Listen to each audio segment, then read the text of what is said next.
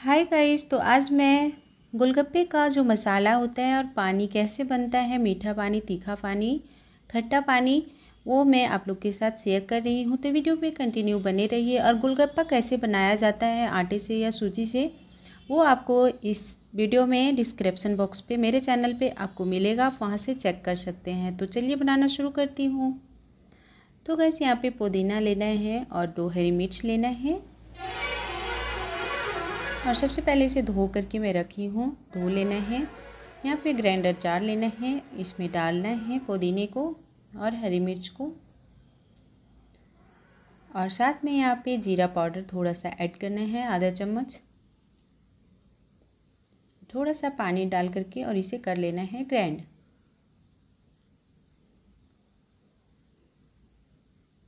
तो देखिए यहाँ पे ये ग्राइंड हो गया है।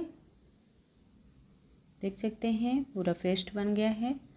तो एक बॉल लेना है और एक छन्नी लेना है और इसमें छन लेना है। इस तरीके से स्पून लेना है और थोड़ा सा प्रेस करना है और सारा जो पानी है इसका, वो निकल जाता है बहुत आसानी से, इस तरीके से करने से। और जो इसका सीठा बचता है, उसे साइड में रख देना है। और बहुत ही टेस्टी बनता है ये पानी पूरी का पानी। गाइस आप लोग ज़रूर इस वीडियो को पूरा वॉच कीजिएगा। और इसमें पानी ऐड करना है। अपने अकॉर्डिंग कम ज़्यादा कर सकते हैं। अब इसमें स्वाद अनुसार नमक डालना है। जल जीरा पाउडर एक चम्मच डालना है। जल जीरा पाउडर डालने से इसका जो स्वाद है वो थोड़ा सा चेंज हो जाता है और अच्छा लगता है खाने में। यहाँ पे चाट मसाला डालना है, एक चम्मच, छोटा वाला चम्मच है, और आधा चम्मच काला नमक डालना है, और यहाँ पे इमली पानी डालना है, और यहाँ पे थोड़ा सा धनिया पत्ता डालना है, एक हरी मिर्च कट करके डालना है, बारीक से। यहाँ पे आधा नींबू डालना है इसका रस। और इसे अच्छे से मिक्स कर लेना है। अब ये मीठा पानी बन कर के रेडी हो चुका है।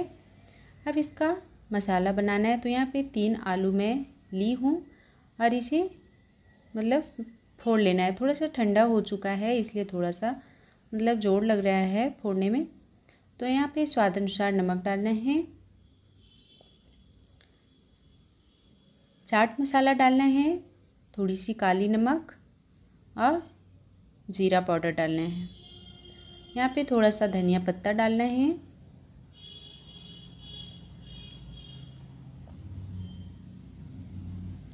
और एक से दो हरी मिर्च बारीक से काट करके डालने हैं।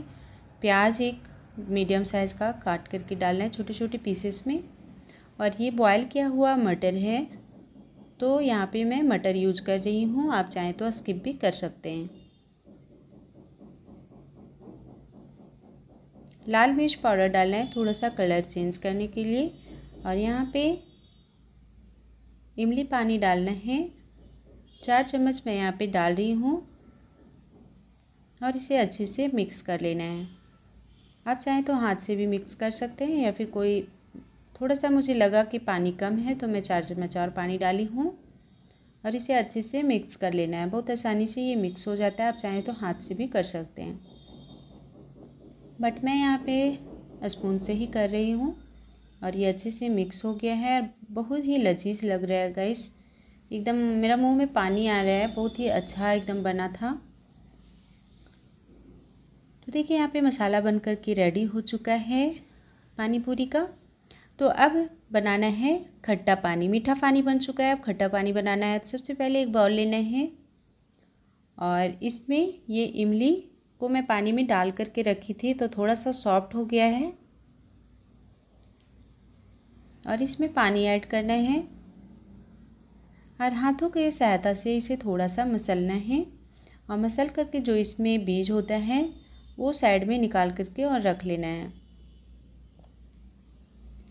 हाथ से बहुत आसानी से हो जाता है और बहुत जल्दी भी हो जाता है। तो ये बीज को निकाल कर के साइड में रख लेना है। अब इसमें पानी ऐड करना है। आप कम ज़्यादा कर सकते हैं अपने अकॉर्डिंग।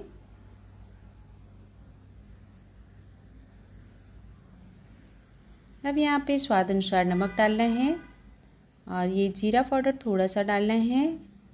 हरी मिर्च डालना है। धनिया पत्ता डालना है।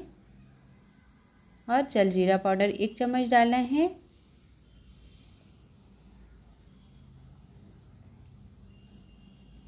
और यहाँ पे नींबू डालना है, आधा नींबू, गा मतलब इसका रस निचोड़ करके डालना है।